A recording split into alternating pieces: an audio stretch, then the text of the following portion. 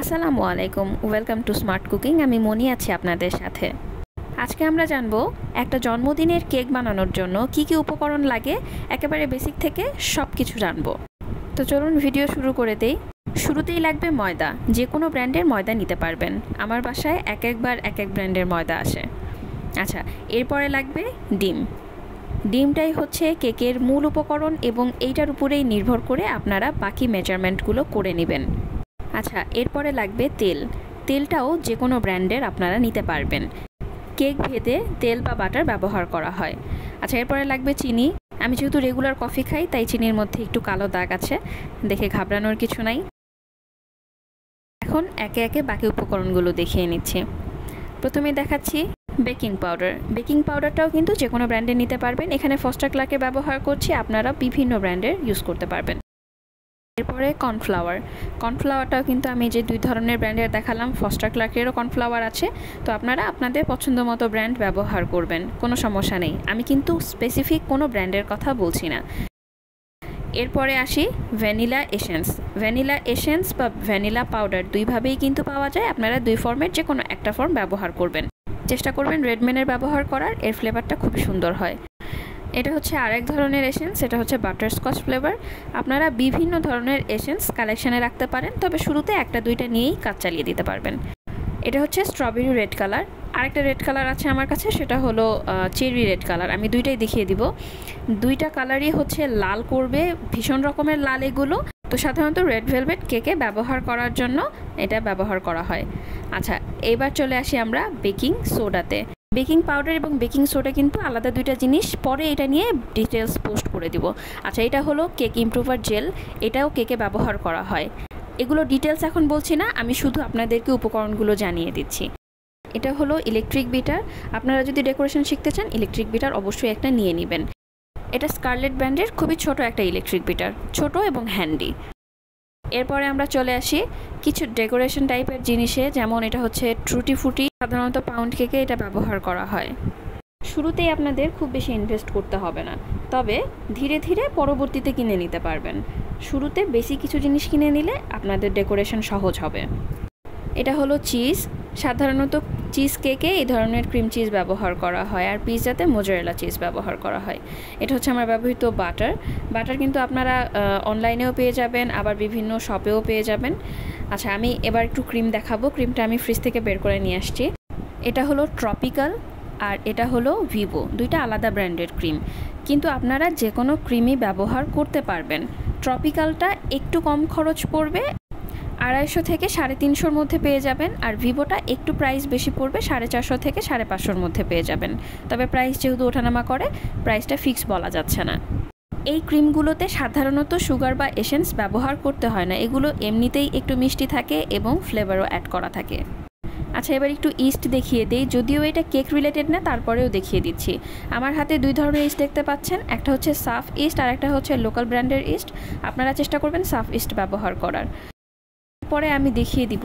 Birthday কেকে খুব গুরুত্বপূর্ণ একটা জিনিস, সেটা হলো টার্ন টেবিল এরকম একটা টার্ন টেবিল আপনারা কিনে নিতে পারেন। এটা কিন্তু খুবই কম দামের একটা টার্ন টেবিল শুরুতে এটাতেই ইনভেস্ট করবেন। তারপরে ধীরে ধীরে আপনারা বাজেট বাড়াবেন।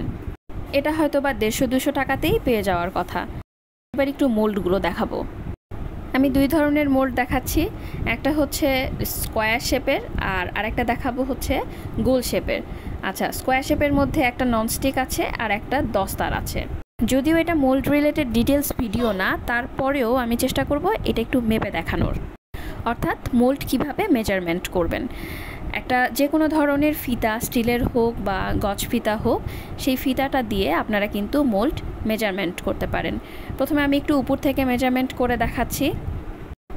দস্তার এই মোলটা কিন্তু ছয় ইঞ্চি একটা মোল্ড তো আপনার যদি জানা না থাকে যে আপনার মোলটা কত ইঞ্চি, আপনারা কিন্তু এইভাবে করে মেপে নিতে পারেন। আচ্ছা শুরুতেই কি মোল্ড কিনতে হবে? এরকম প্রশ্ন অনেকেই করেন। শুরুতে যদি আপনি চান যে মোল্ড কিনবেন না, বাসায় থাকা যে কোনো স্টিলের টিফিন বক্স দিয়ে আপনি বেকিং শিখবেন, অবশ্যই আপনি সেটা করতে পারেন। তারপরে ধীরে ধীরে ইনভেস্ট করবেন। আর যেহেতু আমাদের জন্মদিনের কেকগুলোতে এমন গোল মোল্ড লাগে, তাই বাসায় থাকা টিফিন বক্সগুলো আপনারা চাইলে ব্যবহার করতে পারবেন। সেক্ষেত্রে এইভাবে আপনারা মেজারমেন্টটা করে নেবেন।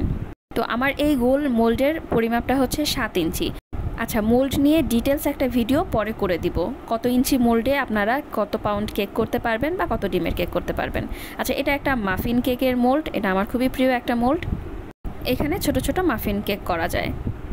কাপ কেক তো হলো। এবার জার কেক। জার কেকের জন্য এই ধরনের ওয়ান টাইম জারগুলো লাগবে। এইটা বড় সাইজের জার। এটাতে ঢাকনাও থাকবে মানে উপরে খাপ থাকবে আবার সাথে একটা করে চামচও থাকবে। আপনারা যখন প্রফেশনালি এগুলো মেক করবেন বা সেল করবেন তখন এইগুলো কিনে নিতে পারবেন অনলাইন থেকে বা শপ থেকে। এখন নোজেলগুলো একটু দেখে নেই।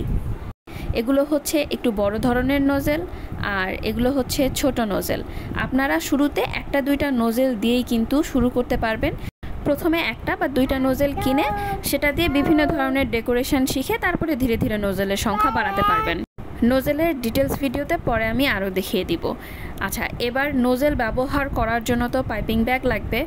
দুই ধরনের পাইপিং ব্যাগ আছে, একটা হচ্ছে রিইউজেবল আর একটা হচ্ছে এটা যেমন রিউজ করা যায় না, এটা হচ্ছে আপনারা ওয়ান টাইম ইউজ করবেন। এটার কোনা একটা সাইড আছে যেই দিক দিয়ে নোজেলটা ঢুকিয়ে দিতে হয়। নোজেলের ক্লাসে সেটা আমি ডিটেলস দেখিয়ে দিব। এটা হচ্ছে বেকিং পেপার বা বাটার পেপার যেটাই বলেন। এটা একটা মেজারমেন্ট কাপ, বড় সাইজের মেজারমেন্ট কাপ। যখন একটু বেশি কিছু মাপার প্রয়োজন পড়ে, তখন এই ধরনের মেজারমেন্ট কাপ আপনারা ব্যবহার করবেন। আর ছোট মেজারমেন্ট কাপের একটা সেট কিনে নেবেন, যেখানে কাপ সেট থাকবে এবং স্পুন সেট থাকবে। এইটা অবশ্যই কিনে নেবেন একদম বেকিংয়ের শুরুতেই, কারণ প্রাইসও খুব অল্প আর এটা ছাড়া আপনারা বেকিং পারফেক্টলি করতে পারবেন না। তাই অবশ্যই এটা কিনে নেবেন, বারবার বলছি। তারপরেও যদি হাতের কাছে মেজারমেন্ট কাপ না থাকে, তাহলে কি ব্যবহার করবেন সেটা রিলেটেড আমার একটা ভিডিও আছে ভিডিওটা ডেসক্রিপশন বক্সে আমি লিংক দিয়ে দিব। আর আমার হাতে যে কাপটা দেখলেন, ওইটা প্রায় পাঁচশো এম পর্যন্ত। আচ্ছা এবার আমরা দেখাচ্ছি বাটার নাইফ এটাকে কেক প্ল্যানারও বলা হয়।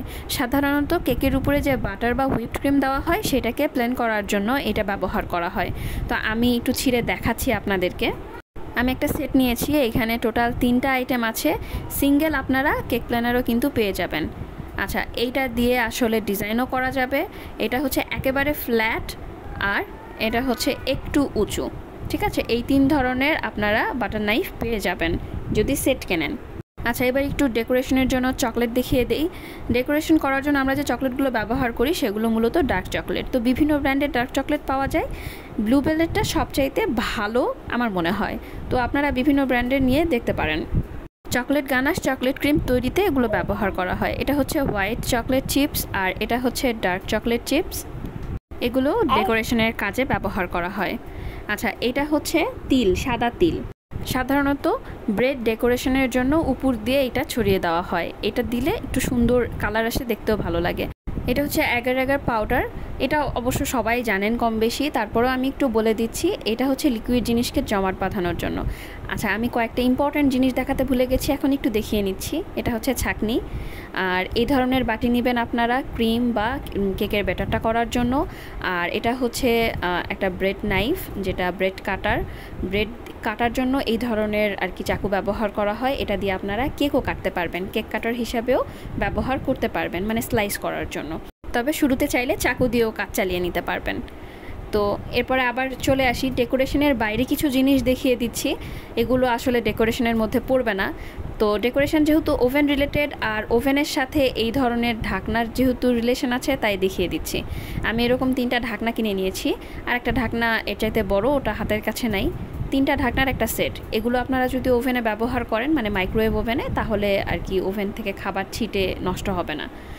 আর এরপরে দেখিয়ে দিব পিৎজা প্যান এই পিৎজা প্যানেরও একটা সেট রয়েছে। তিনটা প্যান দিয়ে একটা সেট তো একেবারে ছোট হচ্ছে এইটা, তারপরে মাঝারি সাইজ আর পিছনেরটা হচ্ছে সবচেয়ে বড় সাইজ তো যাদের হচ্ছে আমার মতো পিৎজা খাওয়ার খুবই আর কি ক্রেভিং এবং পিৎজা খুবই রেগুলার বানানো হয়, তারা এই ধরনের প্যান নিয়ে নিতে পারেন। আচ্ছা এবার লাস্টে একটা জিনিস দেখিয়ে দিব, সেটা হচ্ছে যারা বিজনেস করতে চাচ্ছেন বিজনেসের ক্ষেত্রে কিন্তু এরকম আপনাদেরকে চাকু প্রোভাইড করতে হবে যখন আপনারা কেক সেল করবেন।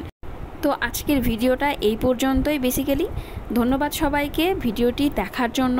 আমাদের ইউটিউবে কিন্তু প্রচুর ফ্রি ক্লাস টিউটোরিয়াল রয়েছে। যাদের বেকিং সম্পর্কে ইন্টারেস্ট রয়েছে, তারা কিন্তু চাইলেই ফ্রি ক্লাসগুলো করে নিতে পারবেন। এছাড়াও আপনারা আমাদের ফেসবুকে জয়েন করে থাকতে পারেন। এতে করে ফেসবুকের ফ্রি লাইভ ক্লাসগুলোও করতে পারবেন। আর অবশ্যই আমাদের চ্যানেলটা সাবস্ক্রাইব করে দিবেন। তো ধন্যবাদ সবাইকে। আল্লাহ হাফেজ।